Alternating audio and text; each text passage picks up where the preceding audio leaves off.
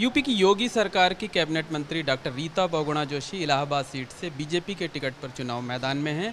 मैदान में निकलने से पहले वो पहुँची हैं शक्तिपीठ माँ ललिता देवी मंदिर में। यहाँ उन्होंने पूजा अर्चना की है, माता रानी का आशीर्वाद लिया है। दीदी, ये बताइए कि कितना ज़रूरी मानती हैं जनता के आशीर्वाद से पहले देवी माँ का आशीर्वाद? देखिए, हम लोग सब ईश्वर में विश्वास करते हैं और कोई भी शुभ काम करने से पूर्व हमेशा ईश्वर की आराधना करते हैं उनका आशीर्वाद लेते हैं। ये मैं हर चुनाव से पहले करती हूँ काउंटिंग के पहले भी जाती हूँ। तो ललिता देवी की बहुत मान्यता है और मैं पिछले बीसों साल से यहाँ हर नवरात्र में आती हूँ।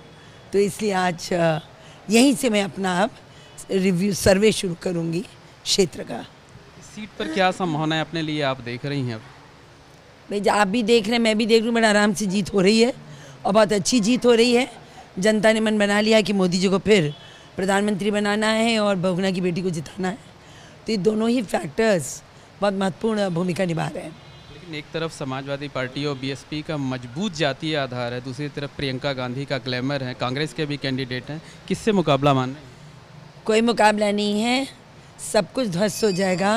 मोदी जी के कार्यशैली के समक्ष उन्होंने जो कल्याणकारी कार्य किए हैं और जो विश्वास जागृत किया लोगों दिल में वो हर प्रकार का समीकरण तोड़ देगा। और मोदी जी ने अच्छे काम किए, निष्कलंक, एकदम साफ़ सुथरा शासन दिया है। तो कोई वजह नहीं है कि उन्हें लोग फिर से ना चुने और लोग चुन रहे हैं।